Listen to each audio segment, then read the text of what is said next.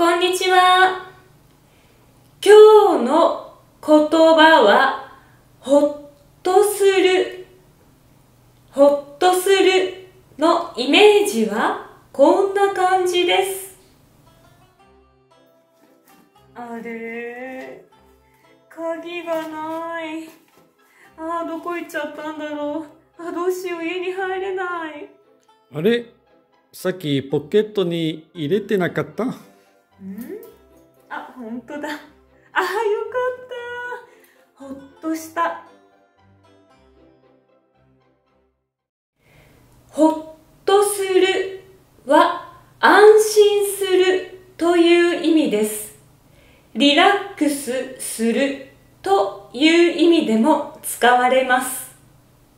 日常生活でとってもよく使いますので、ぜひぜひ覚えてください。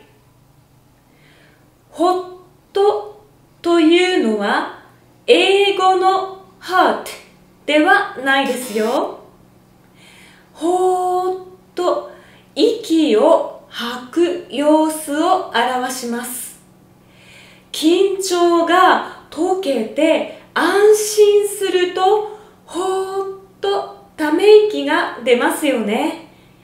こんな風に安心してため息が出る状態をほっとすると言います。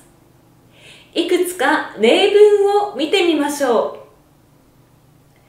昨日やっとテストが終わったよ。うまくいってほっとした。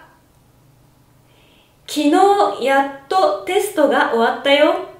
うまくいってほっとした。寒い時に温かいコーヒーを飲むとほっとする。寒い時に温かいコーヒーを飲むとほっとする。ここで一つ注意してほしいことがあります。ほっとするは否定の形では使いません。ほっとしないとは言わないんです。安心できない状態、心配している状態を言いたいときは、落ち着かないと言います。落ち着かない。例えば、こんな風に言います。バスがなかなか来なくて落ち着かない。バスがなかなか来なくて落ち着かない。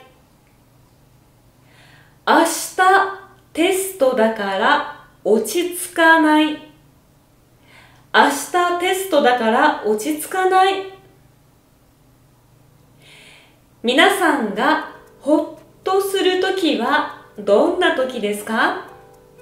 私は仕事が終わって家に帰ってお茶を飲んでいるときほっとします。またコメント欄で例文を書いて練習してみてくださいね。もし例文を直してほしい人は言ってください。それでは、バイバーイ